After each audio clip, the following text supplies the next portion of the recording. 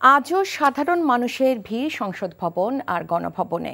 সকাল থেকে রাজধানী সহ বিভিন্ন এলাকা থেকে জনতা আসেন সংসদ ভবনে। এতে সংসদ ভবন এলাকায় উৎসব মুখর পরিবেশ বিরাজ করছে। ছাত্র জনতা আজও এসব এলাকায় এসে তাদের উচ্ছ্বাস প্রকাশ করছেন। জাতীয় সংসদ ভবনে আসা মানুষ দেশের নির্বাচন ব্যবস্থা ফিরিয়ে এনে জনগণের ভোটাধিকার নিশ্চিত করার দাবি জানান। তবে সংসদ ভবন প্রাঙ্গণে ঢুকলেও নিরাপত্তাজনিত কারণে জনগণকে আজ আর ভবনের ভেতরে প্রবেশ করতে দেয়া হচ্ছে না।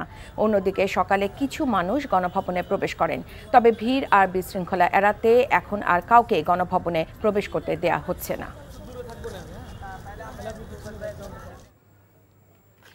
মানিক মিয়া অ্যাভিনিউ এলাকায় আছেন আমাদের সহকর্মী নিয়ামুল আজিজে সাদেক। যাচ্ছি তার কাছে। সাদেক, জাতীয় সংসদ ভবনের সামনে চিত্র কেমন দেখছেন?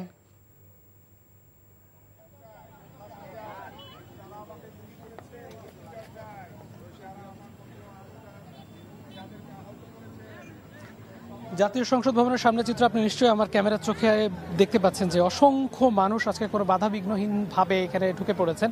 এর আগের দিনগুলোতে আমরা যদি দেখি যে এখানে ঢোকার ক্ষেত্রে এক ধরনের বিধি নিষেধ আরোপ করা হয়েছিল যে গতকাল যখন সেনা বাহিনী যখন ঘোষণা দেন, এর, এরপর থেকে কিন্তু সাধারণ মানুষের যে উল্লাস, এই উল্লাসের পরে কিন্তু আমরা এখানে দেখেছি যে তাদের একটি বিনোদন কেন্দ্র হিসেবে তারা এখানে এসেছেন এবং বিভিন্ন সময়ের মানুষ এবং বিভিন্ন বয়সের মানুষ এখানে এসেছেন। এসে তারা এই জায়গাগুলোতে বিনোদন নেওয়ার চেষ্টা করছেন এমনকি ছোট ছোট বাচ্চাদেরকে নিয়ে আসছেন এবং যারা বিভিন্ন স্কুল, কলেজ এবং বিশ্ববিদ্যালয়তে বিভিন্ন জায়গা থেকে তারা এখানে এসছেন। এসে তারা একে একে এই জায়গাগুলো ঘুরে দেখছেন। তবে একটি বিষয় আপনাদেরকে জানিয়ে রাখি, গতকালকে যে ভেতরের যে অংশটি ছিল, ভেতরের অংশটি বেশ ক্ষতিগ্রস্ত হওয়ার কারণে আজকে ছাত্ররা কোথাও ঢুকতে দিচ্ছেন না, অন্তত ভেতরে। এই দক্ষিণ প্লাজা শেষ পর্যন্ত তারা যেতে পারছে।